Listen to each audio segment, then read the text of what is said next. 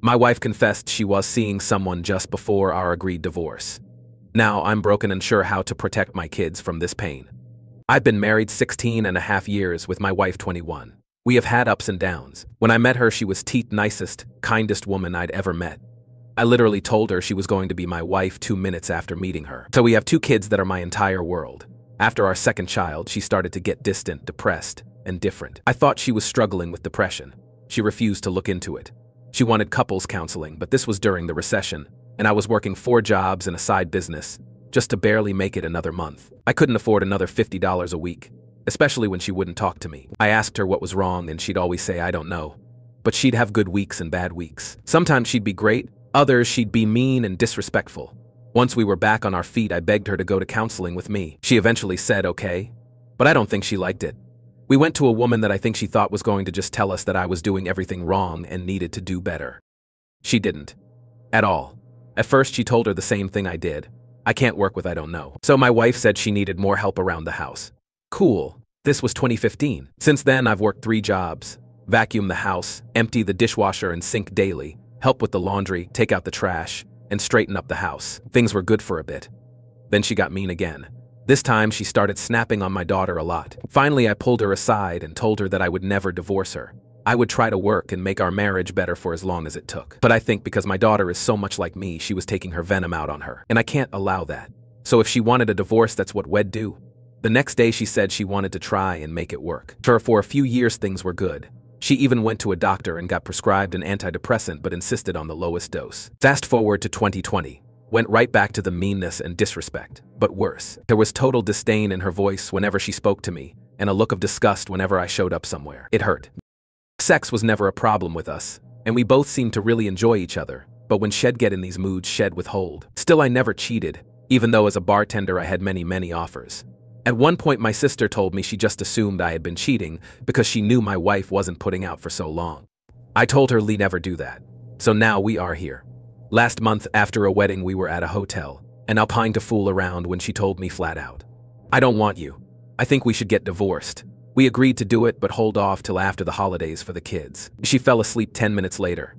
I laid in bed with tears pouring down my face for three hours, though I thought it was going to be the most pain I ever felt. Then Terry's today, a week ago, she had to go to a party for my daughter's softball team. At midnight, she wasn't home, so I checked our Life 360 app, and she was at an Applebee's. So weird, but I thought she met her friend for a drink after. Thing is, she was there till 1, but they closed at 12. I asked where she went, and she said some bar with the people from the party. Never said Applebee's, which was odd.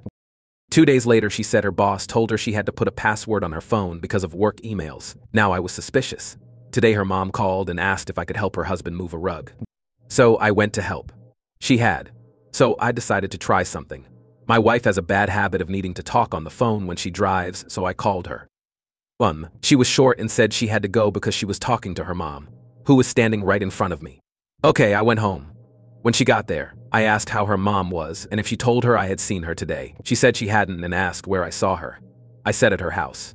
When I called you, her face dropped. She tried some half-assed excuses but finally admitted she had been seeing someone. For a few months so before we agreed to divorce. I was shell-shocked. Ten minutes later, she was acting like nothing happened. I don't know if it was to not tip off the kids, or because she just don't care that she crushed me, but I suspect the latter.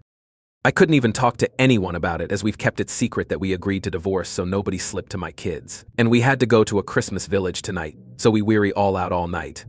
My kids knew something was wrong with me, but just thought I was in a bad mood. My son literally said, You sound hurt. I just don't know what I'm gonna do. The prospect of divorce was already stressful enough.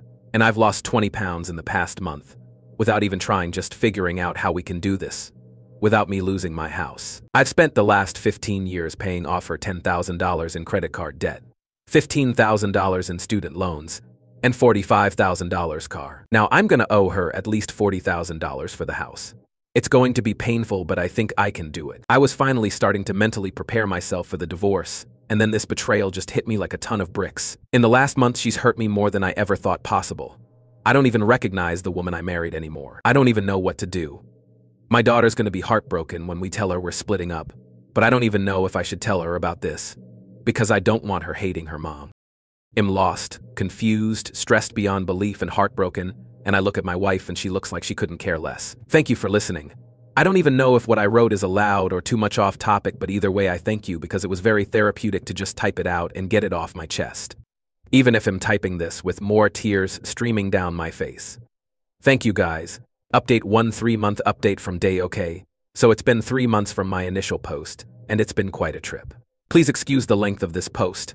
I got a lot of advice on my initial post. Look at my submission history to see the original story but I decided to follow my gut on how to proceed. It's going okay. Still not done yet, as expected considering it's only been a few months. Apparently, that's their sole way of communicating, most likely because Hez married with three kids, is also a doctor and rich. That one was a real punch in the gut to a guy working three jobs to survive. On Christmas, I found out she had told her whole family we were divorcing, along with my sister and my cousin's wives. Meanwhile, I had still told nobody out of fear of it getting back to my kids before the holidays were over. Um, her mom was not happy, thought she was making the biggest mistake of her life. Same with my sister and her best friend. She didn't care. She also left out the part about her cheating, of course.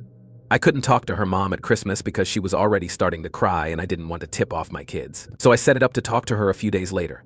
The next day, my wife and I sat down and talked. I told her I didn't want her seeing the guy again till everything was done. It was disrespectful, and if she wanted him to divorce his friends, she doesn't treat a friend like that. She agreed. Then we discussed how we'd split things up. I think I did okay. No alimony. No child support. 5050 custody. We both supply clothes for the kids. Everything else gets split equally. In keeping the house, I have to pay her $43,000 in equity. In the end, she walked with about $40,000. She owes her dad $10,000, an 800 credit score, and zero debt, all thanks to me. When I finally went to speak to her mom, I found out that when she found out we were going to talk, she came clean to her. She originally lied about cheating when her mom asked, then told her the truth after, so my mill was furious, really ripped into her, then cried to me that she was scared I was going to cut her out of my life, which I assured her would never happen. Fast forward to mid January. Now I'm down 40 pounds. I'm going to the gym every day to relieve stress. Now we have to tell my kids. I told her I wouldn't lie to my kids, but I wasn't going to just out her either. I said if they asked, I'd try to steer the conversation a different way, she said she felt the same way. The thing is, I knew this wouldn't fly with my daughter. She's like a 14 year old clone of me. She can spot bullshit a mile away. And that's what happened. Before we even said anything, my daughter asked if we were getting divorced when we sat them down. My wife said yes, and my kids lost it. Lots of crying. I saw them crying and I started crying. then my wife made a big mistake. She said, Listen, we both want this. And that's when my daughter let her have it with everything she had. She screamed, That's bullshit. My father would never want this. You want this. Look at him, crying. I've never seen him cry in my life. This is you. Then she asked if my wife was cheating on me. My wife tried to change the subject, but she wasn't having it. She grilled her while screaming, Tell me the truth. Over and over until my wife fessed up. But after that, it was like I could see her brain moving. She started calling out every red flag over and over and made my wife confess to it. In three minutes, she got more out of her than I did in a month. Afterwards, I spoke to my kids alone, my son is 12 and just needed reassurance that things were going to be okay and would change as little as possible. So although now I can see Hess dreading when things finally finish. My daughter told me she was crying for me, not her, because of how hurt I had to be. I comforted her and made her feel better. Then she asked me to make her a promise, because I've never broken a promise to my kids. She asked me to promise if when this is all over, if my wife loses her new house and needs a place to stay for a while, I would let her stay here. All this shit going on, she could have asked for anything, and she looked out for her mom. I couldn't say no. When she talked to her mom, she asked her to promise to stop talking to the guy. She broke that promise after two weeks. Since then, she started sneaking around again and seeing him for half hour stints at places like Target. I caught her again, and again we had a blowout. And again, she agreed to stop seeing him, even though she still talks to him. Apparently, she has feelings for him now. Hey, like I said, she can't bullshit my daughter, so eventually she'll know she broke that promise, there's no need for me to tell her. Right now, I'm in the process of refinancing my house, and she's looking for a house of her own. She's got her rich aunt co-signing for her, so hopefully she'll find something soon. Also, one other thing, and I know this one is going to be controversial on this sub. Yes, I have proof, and yes, I know everything about this guy now, but I have decided not to tell his wife. I'm not proud to say it, but my motives are completely selfish and self-serving. The fact is, if I tell her, they get divorced. And then, when my wife leaves, she has a ready made relationship waiting for her. A rich guy who, even after divorce, will still be rich, taking her on expensive dates and nice vacations, helping her with her bills, etc. while I struggle. As much as I want to hurt this guy, I want to hurt her more. So when she leaves, her sneaking around is over, but it isn't. They won't be able to go out on dates, so you'll get to see how much of a side piece she really is. They'll only be able to meet at her house and Hell have to leave as soon as Hez. Uh, he won't be giving her any money because it could tip off his wife. And now that she is feeling for him, she'll see if Hez gonna leave his wife and leave her family for her. I'm betting he won't. But if he does, fine. But Hez gonna have to be the one to have the balls to do it. I'm not gonna do his dirty work for him. That's what happened with her rich aunt. She fucked a married man. The wife found out and left, and she moved right in. Went from being a broke single mom to a millionaire. That might happen with my wife, but I'm not gonna help make it happen. Thanks for reading. And I still read this sub all the time, and it's been extremely therapeutic. And please try to be nice. I know everyone won't agree with everything in this post. Just please try to understand that every situation is different. Thank you. Update 2 It's been 16 months since I found out. Here's an update, so if you look at my post history, you'll see what happened. Caught my wife cheating after almost 17 years of marriage. So the divorce finalized this past August. I promised my kids their lives would change as little as possible, and I've kept that promise. In August, we finalized the divorce. She was looking for houses while living here. She got outbid 16 times. I found a house around the corner for me that she loved. I spoke to the owner, and he basically let her have it without taking any other bids. She never would have gotten the house without me, which makes me feel good as my kids are now never more than 30 seconds away from me. Our divorce agreement worked out great for me. No alimony, no child support, 5050 custody, to kept the house and paid her the equity was able to refi before interest rates skyrocketed. For the next few months, I basically refurnished my house after splitting the furniture. Changed some stuff around, changed pictures, focused on that and my kids. Stayed positive, kept going to the gym and working. It's been good. I've been friendly with her throughout, which put my kids at ease and helped them get used to everything. She even came to Thanksgiving and Christmas Eve at my sister's. People think I'm crazy. But I let go of the ill will and helped my kids celebrate the holidays normally, and that makes me happy. Financially, I've been doing great. While I'm not sure, but I think she's struggling. She was never the best at budgeting money. We are supposed to split everything the kids need outside of food and clothes, but I wind up paying for more than I should, which I don't mind because I know it's going to my kids. In December, I met a beautiful, wonderful woman. She lives about an hour away and is divorced with two kids. Because of the custody schedule, we only get to see each other a few times a month, but she's amazing and really makes me happy. I don't know what my ex's dating life is like. I don't know if she still sees the guy or not. I know she's hooked up with a couple other people, but I don't ask about it. I know one night she went out with a guy three weeks after she moved out, and she got jumped by four girls and had the shit beat out of her, which I'm not gonna lie, made me laugh. As far as the guy she was cheating on me with, well, we have some mutual friends that I've told. This one couple I'm friends with saw him with his family at a function and started having a conversation in front of them where they mentioned my name and that I had found out my wife was cheating on me. They said I knew who the guy was but hadn't done anything yet. Then they started saying stuff like, man, if he decides to go after him, they won't find that guy's body for 50 years and shit like that. Just laughing and watching him sweat without letting on they knew it was him. I don't think my ex ever told him I knew about the affair, so that was probably a nice surprise for him. I'm sure three run into him eventually, not sure how that will play out, but I'm not going out and seeking it. So basically 16 months after D-Day, I've got a new girlfriend, a great relationship with my kids, a happy work life, I'm in great shape physically and I'm doing great financially. I don't think it could have worked out for me any better. So if anyone going through it now needs some advice, here's what I would say. Stay positive. Don't let the resentment and negative feelings take control of your life. If you don't have a lot of money, try to sit down and work out a deal with your spouse without lawyers. This way you actually have some money to walk away with. If you have kids, try to maintain an amicable relationship with your spouse. I know how hard this is, but you are doing it for your children, not for them. Exercise is a great way to distress. Find a gym and start going. It'll help your mental health as well as your physical health. I remember that every situation is different. Find the path that works best for your situation. When they are gone, remember they are gone. They aren't coming back to you. And if they do, it's probably not for your best interest. The trust is gone forever. So move on and find someone that deserves you. If you're not the kind of person that meets people in the world often, try a dating app like Bumble. They work. I know this update isn't as satisfying as some in this sub would like, but it really worked out well for me and my kids, and that's all I really wanted. So yay, I'm a lot happier now than I was after that first post. And I think that's the goal of this sub in the end. So thanks for all the kind words and support. It helped a lot. Now, on to the next story. Story 2. I caught Mike Thief doing this with her app at a friend's wedding, so I exposed her, and now she's a wreck. My wife, 32 female, has always been my biggest supporter, especially when it comes to my DJing career. It's actually how we first met back in 2011 at a school event where I was starting out as a DJ in our town. The moment we started talking, we just clicked. We had so much in common, from our interest to our taste in music and favorite bands. At first, we decided to hang out as friends, but before long, we knew there was something more between us, and we started dating. Fast forward to 2013, we got engaged, and to celebrate, we took a trip together. We often reminisce about that trip where we listened to the entire Third Eye Blind catalog and sang along to all the songs. That year, we tied the knot and got married. Throughout our marriage, we developed this special tradition of trying to see our favorite band, Third Eye Blind, as often as possible. We made it a point to attend their concerts whenever they were on tour. And over the course of our nine year marriage, we managed to catch them nine times. It's been a fantastic journey filled with shared passions and great memories. Last night was supposed to be our 10th time seeing our favorite band. Can you believe it? We've been married for 10 years as well, and our anniversary is just around the corner in November. I had this amazing plan all set up for us.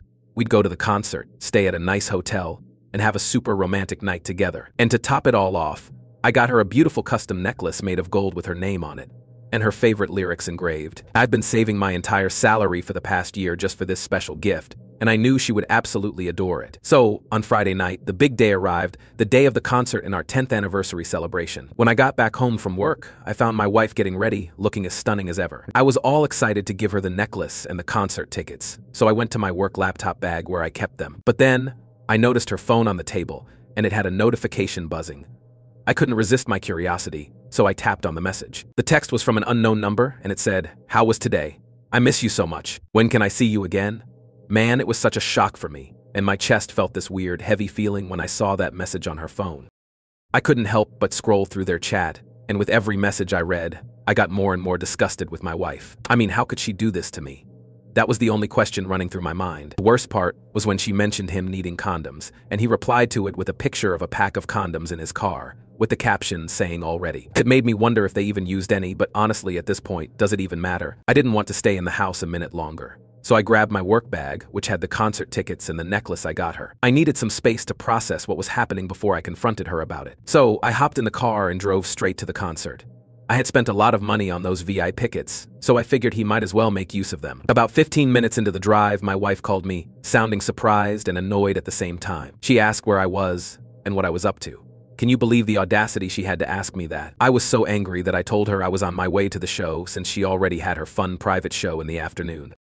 So there was silence on the other end, but I was too furious to carry on the conversation, so I just hung up. I was still in shock and couldn't believe what I had just discovered. At that moment, I was feeling numb, like I didn't know what to feel. Then she called me back, and it was like she was going through the motions.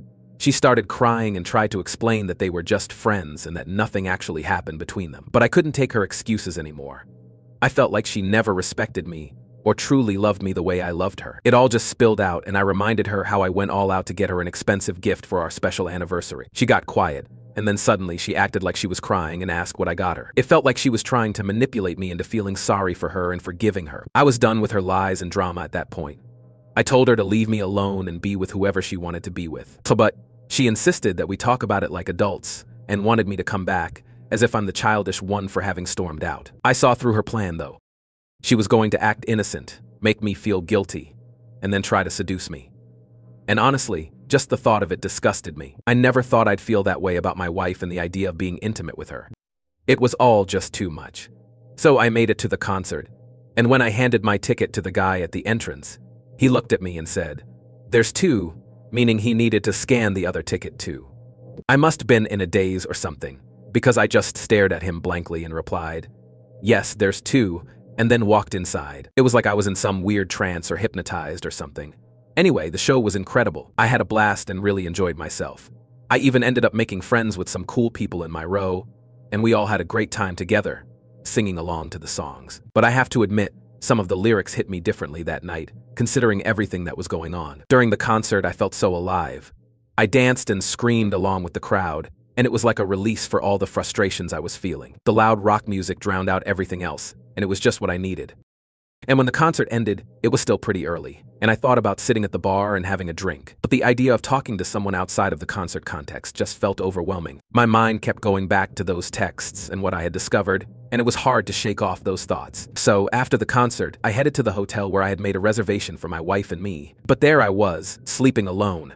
When I woke up, my inbox was flooded with about 30 emails from her. It seemed like she had been up all night, going through a roller coaster of emotions guilt, shame, and even anger Surprisingly, some of her emails were filled with anger towards me for going through her phone. It was surreal to read those, as if I was the one in the wrong. She pleaded and bargained, leaving voice messages expressing her surprise that I had gotten her an expensive gift, which she found out by going through my emails. She begged me to answer her calls and wanted us to talk things out, hoping we could salvage our anniversary night and make it memorable. That night turned out to be unforgettable, but not in the way I had imagined.